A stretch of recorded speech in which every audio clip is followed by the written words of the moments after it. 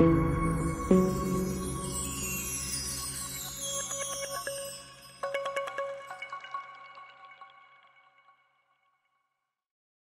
good. Are you going to fall asleep during my presentation? Are you ready?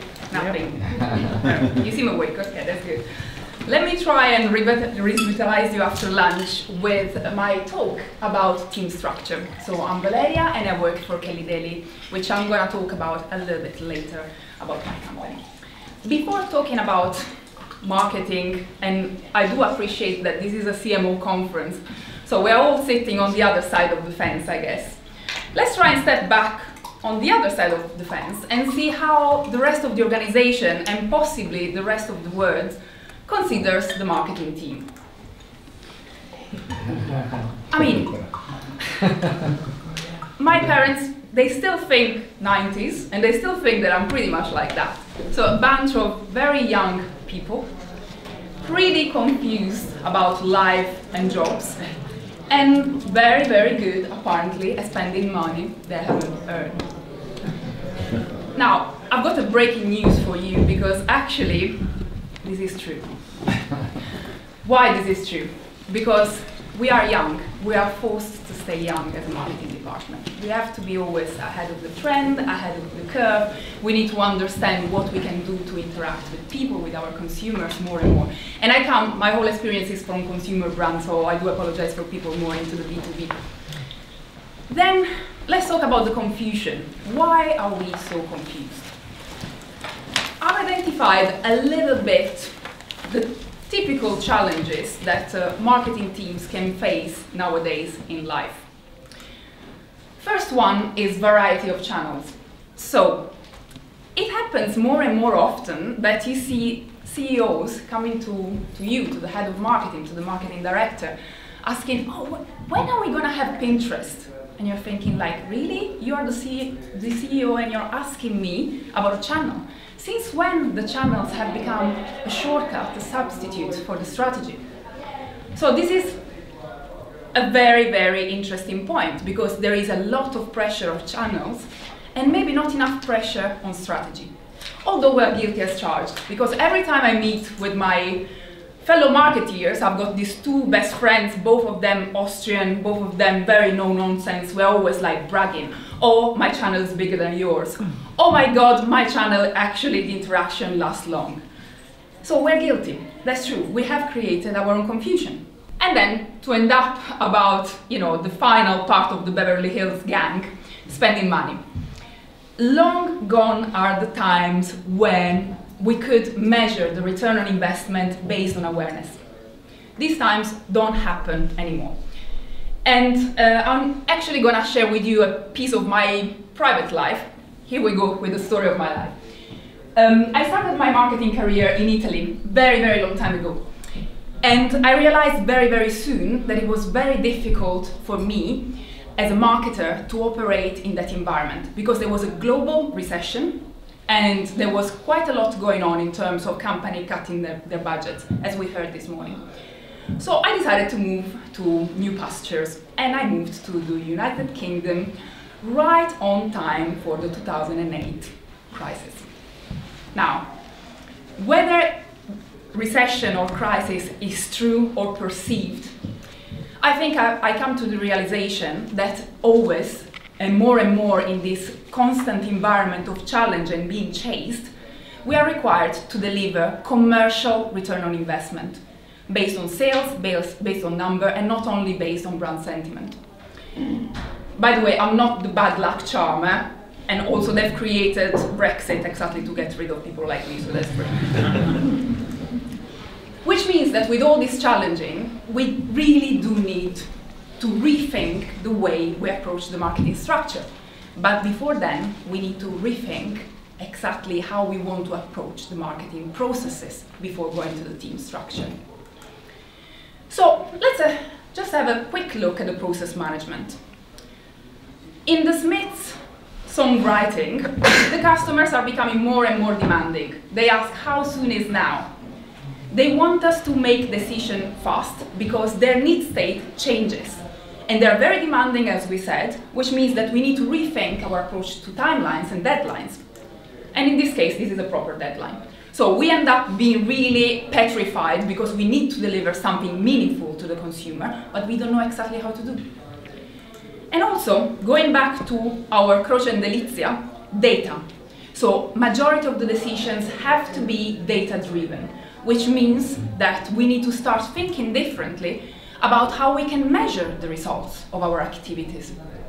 And for us creative people in the room, I think the word measurable has got quite a lot of affinity with the word miserable because we think that our creative effort is going to end up being really um, trivialized, I think, by the commerciality of it. But this is not true because I think if we operate a switch in our thinking, we can actually gain a greater understanding about our consumers as well as a greater reward in terms of how we operate.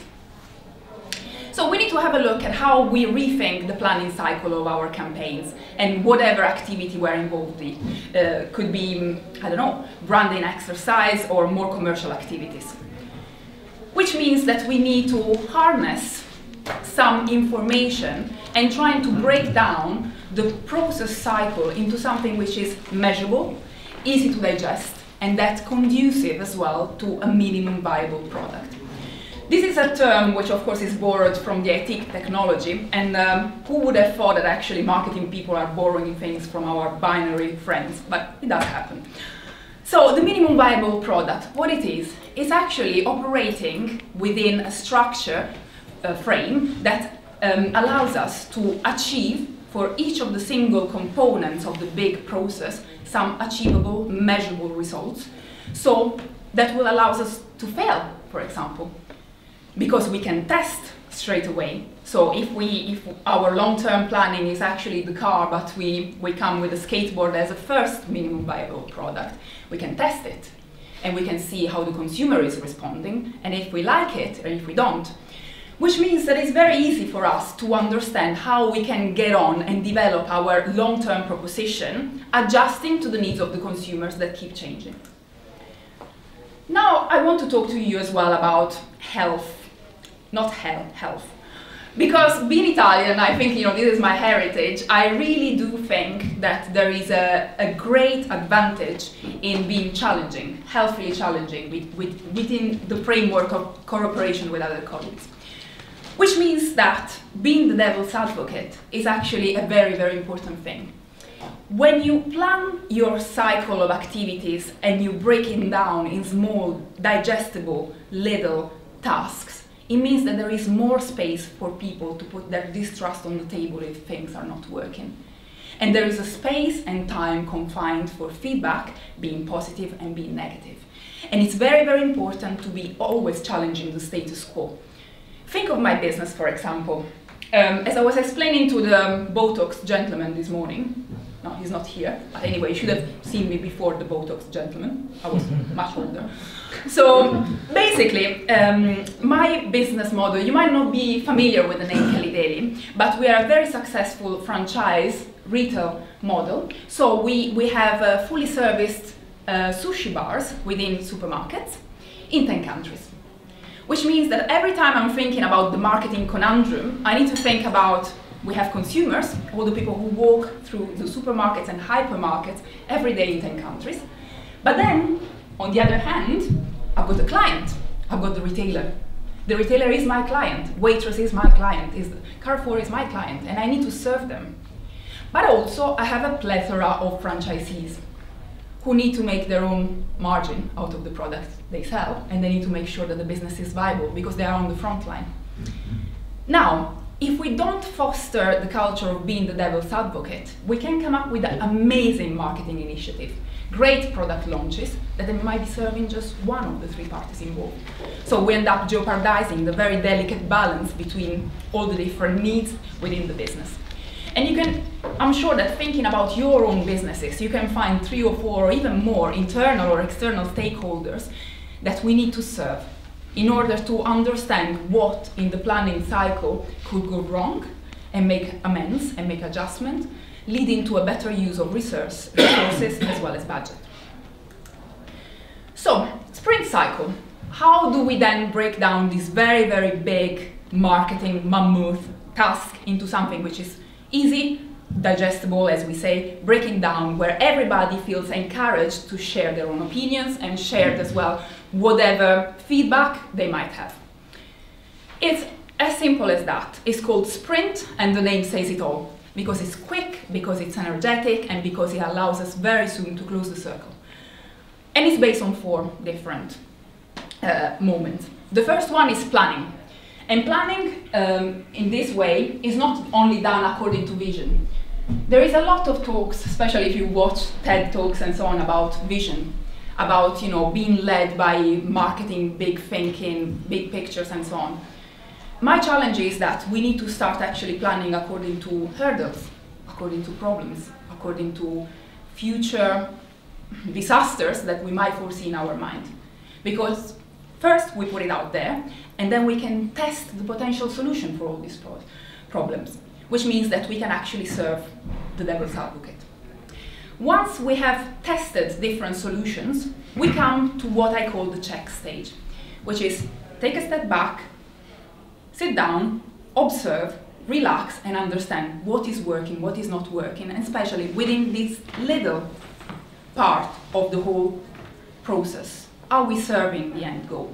And if we are not serving the end goal, is it not better maybe to go back to do and maybe test another solution? Which means that then when we move forward to the act and implementing the best solution, we're then ready to go to the next phase and then ready to go to the next phase again. So the sprinting cycles is actually done for every little task within the marketing process, which means that again, we can save money because we are not thinking about, oh my God, we need to do this amazing strategy right now and it's gonna come to fruition in three years time. And then in three years time, we realize that, for example, there are many other different channels. Think of all the people who wanted to do something on MySpace and they created a five year strategy. What happened to them? I don't think they are in this room. So the sprint cycle allows us really to think critically about what we want to achieve, how we want to achieve it, and how quickly we want to do it. Very interestingly, we can actually borrow the same principle that we use for the agile planning, and we can lend them to the teams, because I cannot walk into a room say, guys, from now on we change our way of operating. It doesn't work that way. There is a lot of resistance and um, based on my personal experience resistance is actually not age related so it's got nothing to do with the age of the people because as well there are loads of uh, talks right now about hiring people who've got a flair for digital people who think digital and so on.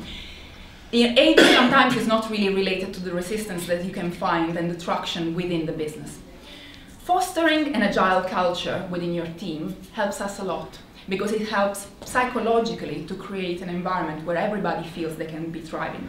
So how do we apply these agile team principles to our own little marketing world? So, as I said, we need to be devil's advocate and we need to be customer centric. So, we need each of the parties involved, they need to think critically about who they are serving of the external stakeholders. And they also need to think who they are serving about their internal stakeholders. So, for me, being a head of department, I think my clients are actually my team. And my responsibility is to break down this big vision into something that they can understand, they can relate to, and they can execute without any doubts. And this is something that I feel I need to do in order to help them out to understand and to commit to what we're doing.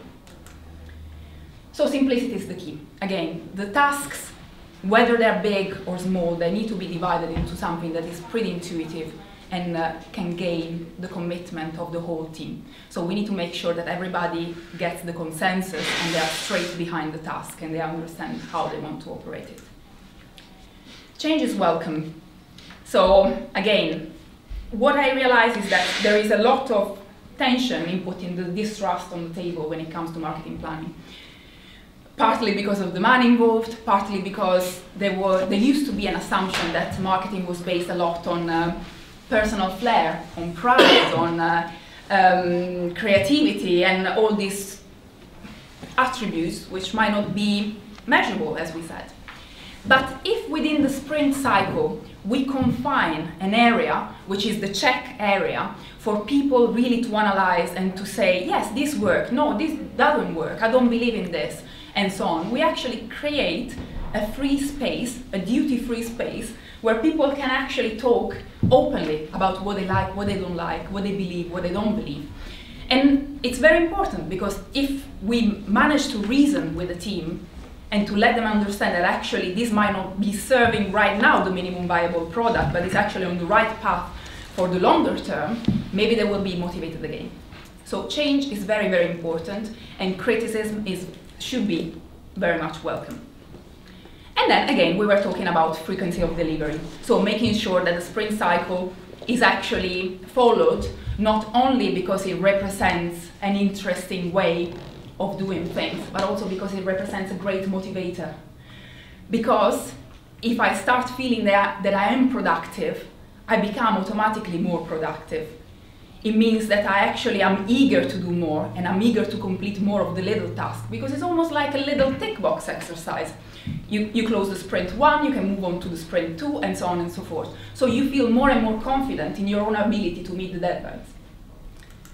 Now, this is a very interesting topic. Um, I've been lucky enough in my professional life to work for businesses, great businesses, where face to face communication was um, encouraged at the point that we weren't actually allowed to send emails to our own colleagues if, if they were sitting on the same floor.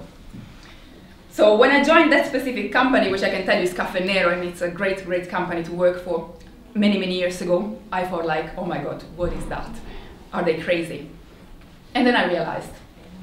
I realized that um, our founder at the time uh, was really interested in promoting communication and solving the clashes within the business within the floor plan. So making sure that if I have a problem with sourcing, if I have a problem with supply chain, I can go and straight talk to them. And if there is no one in the room that can help me, I can actually reach out actively. I think we're all guilty as charged on this because think of all the emails that we send and let's think for a second about the, the real purpose of the emails we send and if it really reflects the subject of the email.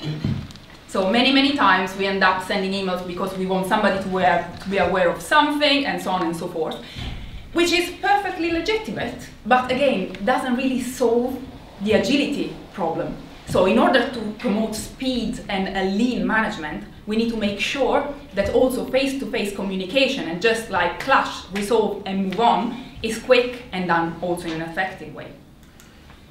And then self-organization. And this is again really about psychology. Because if the task is self-contained and is very, very easy to understand, it means that people, grassroots, they can decide how they can organize their time, how they can organize their workload, their teamwork, and so on and so forth, which leads to people and teams feeling more and more empowered and feeling they can give a meaningful contribution to the business. And then, of course, pause, reflect, and adjust, as I said. And this, this is exactly as I described earlier on, making sure that at some point, a given point in time, we stop and we're all able to look at the sprint cycle, minimum viable product, whatever thing we're doing, in an area which fosters being critical for the sake of being positive, for the sake of moving on.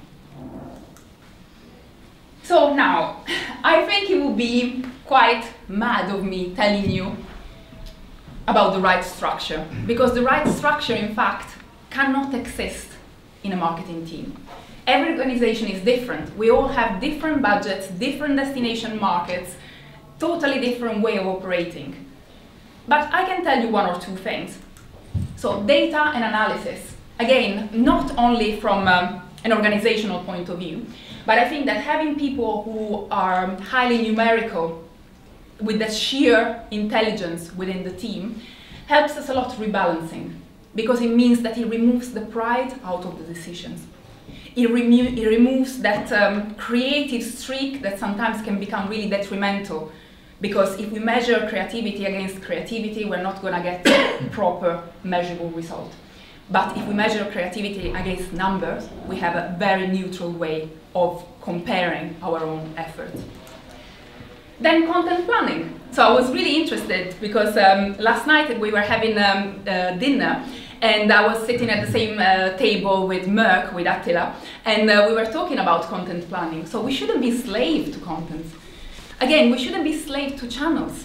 So what he was saying to me very interestingly is that you decide what your story is, and then regionally, you can decide the types of channel that you can use.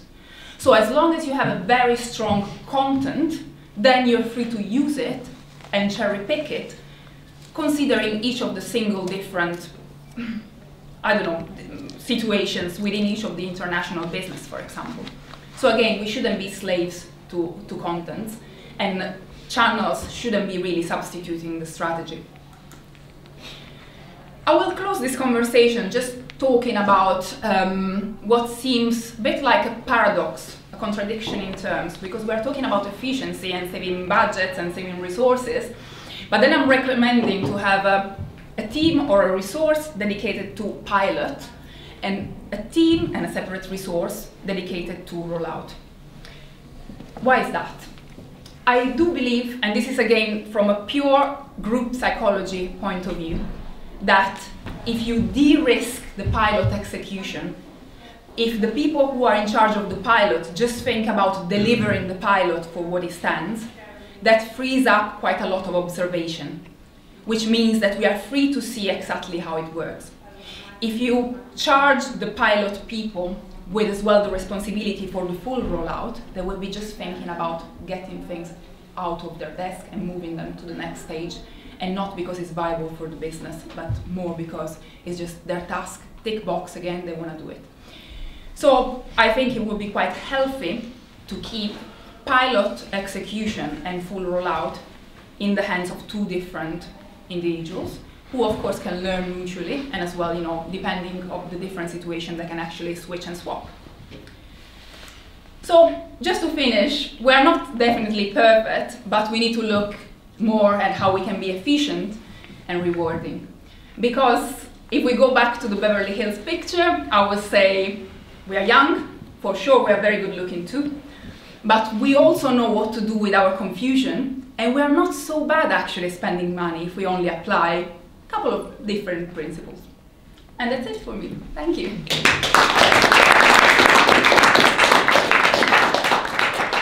Any questions? We have a few minutes.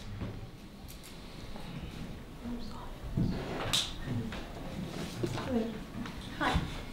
Hey, um, when you have, so your other roles, or with Kelly Deli, when you've been sort of implementing these agile type structures and setups for your projects and things, has that always been into an existing agile structure, or have you sort of implemented that? And then, how would you? How easy is it, or not easy as such, but what sort of steps would you take initially to start easing Yeah. the company into a more agile way of working? It's a, it's a very, very good question because the struggle is real. you, you really have to win hearts first and then minds. There is no way of just going to the team and say, hi guys, I've thought about this amazing thing, it's called Agile, it comes from IT, and people are thinking like, what does she want? She's supposed to be a creative. So um, what I usually do, I tend to relate to people and to the department more on a personal basis and try to guide them, take them by hands, and let them understand that what we're actually doing is serving the purpose of the of the full company. Because I think as well there is a lot to say for um, um, structures, organizations, especially within marketing, believing into doing something which could be extremely expensive and so on. So sometimes you have to say no, but I think that when you start implementing slowly, slowly, and you foster ownership of projects, that's why these projects have to be smaller, so even the more junior team members can have an ownership that will sort of like spiral into something better and bigger. So have you been able to sort of implement that gradually? Yeah, it has to be done. It can't be done like overnight. Yeah. It has to be done. Um, somehow it's easier, of course, with new team members. With old team members, you really need to sit down, explain, and so on. And again, as I said, it's not really age related, nothing to do with age, because there are very young people who are extremely resistant to change. So, yeah. Hello.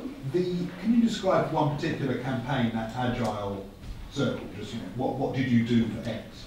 Yeah, I might not go specifically to my current um, role, but we had retail world currently is quite challenging. So being uh, in my previous experience with Caffè Nero, we had quite a lot of pressure of delivering results quickly, especially as the Christmas campaign was approaching. So sometimes you do your big Christmas planning, which starts in February and then finishes in June. In June, it's boiling hot, you shoot the product, melting cakes and so on. And then you're ready for the campaign. And then I'm thinking about two or three years ago when Black Friday started becoming really big. We had to implement something which was quick, easy and wouldn't jar with the big spirit of the campaign. So we started brainstorming about what quick fixes we could do right now, and we found that lots of things could be done on the app, for example. And that implementation was quite key because if we wouldn't be thinking critically about what wasn't serving the purpose of getting more people through the door, we would have ended up just having this amazing campaign and not really serving the purpose. So I'm becoming more and more a fan of this, especially because being in the consumer arena, I think the, the, the speed of response has to be quite immediate.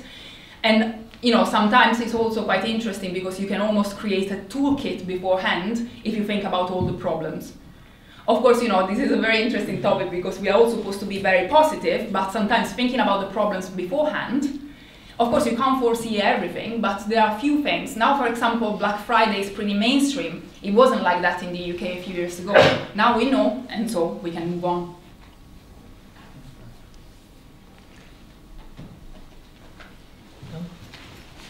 No you, uh, well, maybe one question. Do you find um, so agile is a is a has been a technology an IT driven methodology? Do you find that I I think that helps sometimes IT teams hide behind the process? Do you feel that you're given, uh, is the process respected in the marketing team where you work and where you've implemented it, or do people say, nah, we'll just interrupt that process and we'll become involved, or do they respect the process that you're doing? Well, I believe that um, marketing people are not quite like the IT people. So IT people might sort of like hide behind the process while marketing people they up to a certain extent they are paid to be disruptors. So and i think it's really up to us to understand where the, disrupt, disruption comes from and try to contain it. Okay you can talk about the disruption but just in this phase. So it's really about how you can maneuver. I don't want to put it sounded like bad but i think it's really how you contain this big emotional streaks that usually come from uh, all the creative people. Okay. Yeah. Thank you. All right. Thank you. Thank you.